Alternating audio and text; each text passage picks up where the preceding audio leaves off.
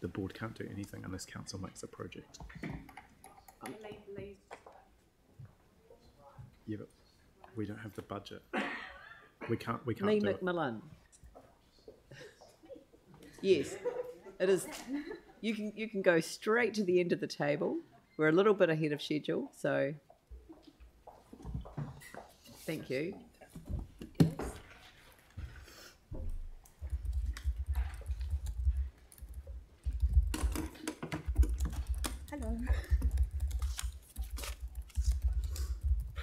Good afternoon. Welcome.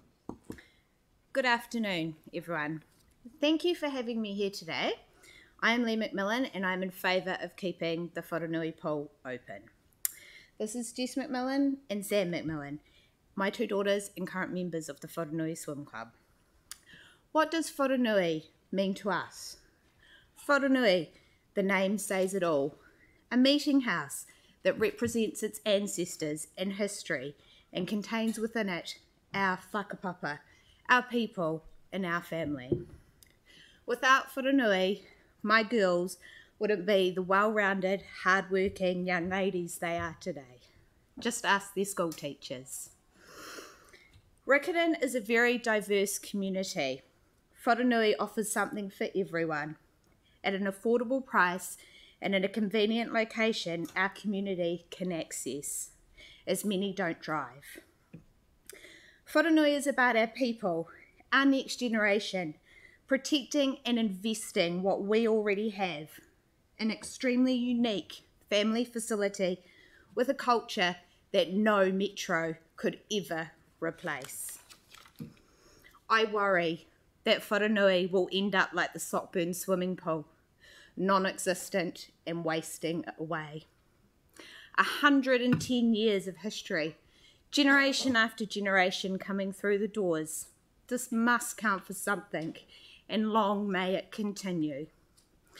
Jess and Sam have been part of the Wharenui family for the last since they were toddlers. Jess competed at national level representing Wharenui. She now is employed at Wharenui as a coach, teaching babies and toddlers to swim, giving back her knowledge and skills to the next generation. Sam, for the first time this year, made it to the Canterbury School Swimming Champs. She's never done this before. What a massive achievement for her and a very proud parent moment for me. Wharenui is a safe space where my girls have had the opportunity to develop their love and passion for swimming. Others deserve this opportunity too. Through water to glory. This means more than trophies, medals, and records. This is about everyone being the best they can be, personal goals, from babies to masters and everyone in between. It is belonging to Team If you close the pool, what is the plan for the Learn to Swim in our club? Where will we go? What happens to our outstanding history? How will you accommodate our diverse community groups? These girls and many other Wharenui swimmers are our future. Please don't let their lasting memories of the Christchurch City Council be. They took our pool. We are a growing city. There's room for both Wharenui and the metro. Our rates have increased. This I'm okay with. However, I am not okay with our facilities now be taken away. That's not fair, and it is just not right. I'm asking you today, please do the right thing. Wharenui is the heart and soul of our community. Please don't, take, our pool.